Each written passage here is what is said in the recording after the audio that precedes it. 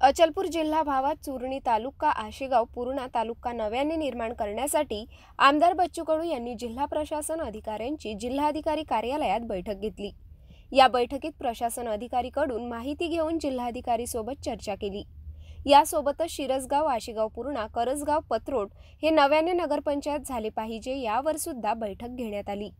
पुनर्वसित गावेसह अतिवृष्टीत नुकसान झालेल्या शेतकऱ्यांना नागरिकांना आर्थिक नुकसान भरपाईची सुद्धा प्रशासनकडून कडू यांनी माहिती जाणून त्यांना निर्देश देण्यात आले.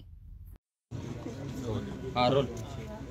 अचलपूर जिल्हा असेल चुरणी तालुका अ, आशेगाव पूर्णा तालुका नव्यानं निर्माण करण्याच्या संदर्भातला एक आढावा बैठक आपण इथे घेतली. तसंच अ, ब्राह्मा थडी करसगाव शिरसगाव कसगाव आणि पथरोट ह्या नव्यानं नगरपंचायत झाल्या पाहिजे. या संदर्भात आणि जे पुनर्वसित गाव आहे या सगळ्या विषयाला घेऊन मतदारसंघातले काही विषय होते.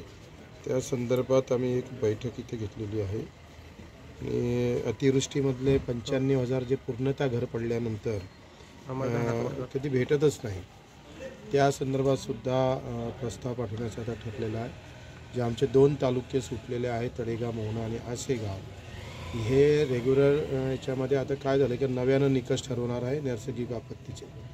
आता त्या नव्यानं निकषमध्ये ते ठेवण्याची गरज नाही. वास्तविक पाहता तिथे मोजबाप यंत्रामध्येच प्रॉब्लेम होता आणि त्याच्यामुळं याला वेगळ्या प्रकारे मंजुरात देणं गरजेचं आहे. त्यासाठी सुद्धा विशेष प्रस्ताव आता कलेक्टर आयुक्ताच्या सहीनं पुन्हा आपण पाठवणार आहोत.